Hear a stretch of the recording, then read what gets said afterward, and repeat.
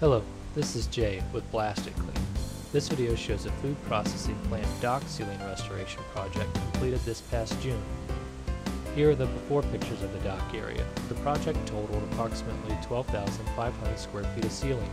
We used dry ice blasting to remove the loose failing paint to get a tightly bonded surface for new coating. In this video portion, we are cleaning the walls of the dock area where the corrugated steel meets the other surface. As the dry ice blasting was taking place, we had additional crews covering the walls, equipment, and areas below the ceiling truss line to protect from when we paint.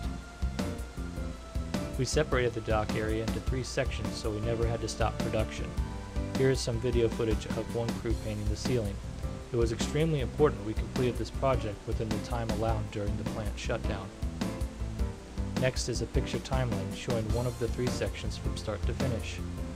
In total, this project was completed within a 48 hour window using 8 man crews working alternating 10 hour shifts.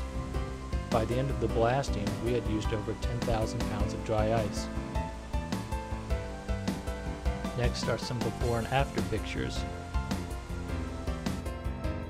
If you or someone you know has a time deadline such as this project, or has a problem you don't know how to solve, or maybe you don't have the expertise or technology to get the results you want, give us a call. We can help.